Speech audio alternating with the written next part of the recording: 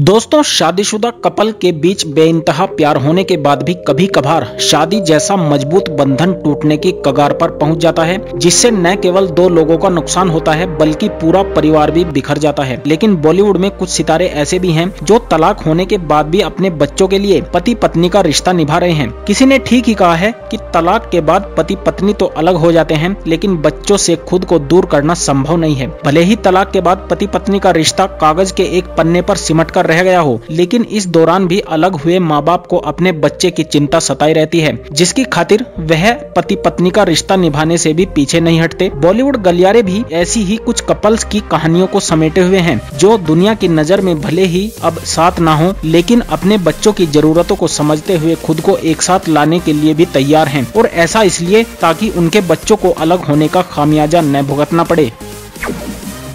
ऋतिक रोशन और सुजैन खान भी उन एक्स हस्बैंड वाइफ की कैटेगरी में से एक हैं, जो अपने बच्चों की खातिर एक दूसरे के संग रहने से भी पीछे नहीं हटे। इस बात को सभी अच्छे से जानते होंगे कि जब लॉकडाउन जैसी गंभीर सिचुएशन ने पूरे देश में अपने पैर पसारे थे, तब सुजैन खान भी अपने बच्चों संग क्वालिटी टाइम बिताने के लिए ऋतिक रोशन के घर पर रहने के लिए चली गई थी। इस दौरान न सिर्फ़ उन्होंने को पेरेंटिंग को ध्यान में रखते हुए अपने गुस्से को दूर रखा, बल्कि लॉकडाउन जैसे समय में अनावश्यक बातों को आड़े नहीं आने दिया। सुजान इस बात को अच्छे से समझती थी कि वह एक ऐसा समय था जब उनके बच्चों को उनकी सबसे ज़्यादा ज़रूरत थी। हालाँकि सुजैन का यह कदम उन तमाम लोगों का मुँह बंद करने के लिए काफ़ी है, जिन्हें लगता है कि वह एक अच्छे पति पत्नी नहीं बन पाए तो माँ बाप कैसे बनेंगे?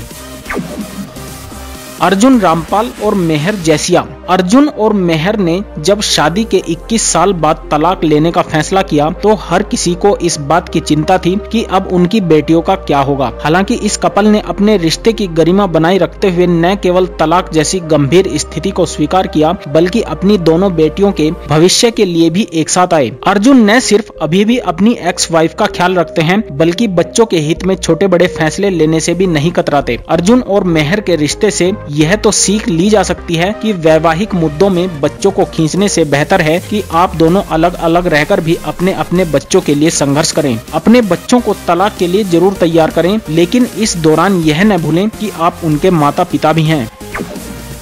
मलाइका अरोड़ा और अरबाज खान। मलाइका अरोड़ा और अरबाज खान कभी बॉलीवुड के सबसे इंस्पिरेशनल कपल हुआ करते थे। दोनों का प्यार बॉन्डिंग आपसी समझ, सब कुछ एकदम परफेक्ट लगता था। लेकिन जब इस कपल के अलग होने की खबरें आई तो फैंस के साथ साथ दोनों के चाहने वाले भी हैरान रह गए। भले ही मलाइका और अरबाज अब साथ नहीं हो, लेकिन वह अभी भी अपने बेटे के लिए एक परफेक्ट माता पिता का धर्म निभा रहे हैं। मलाइका हमेशा से ही इस बात का ख्याल रखती हैं कि अरबाज उनके बेटे के पिता हैं। हैं। तो ऐसे में उनके खिलाफ कुछ भी बोलना उनके बेटे पर कितना असर डाल सकता है? मलाइका और अरबाज के रिश्ते में देखा जाए तो वह दोनों भले ही अपनी टूटती शादी या परिवार पर बात करने के लिए तैयार न हो, लेकिन वह दोनों उन सभी चीज़ों के बारे में एक दूसरे से बात करते हैं जो उनके बेटे से जुड़ी हैं।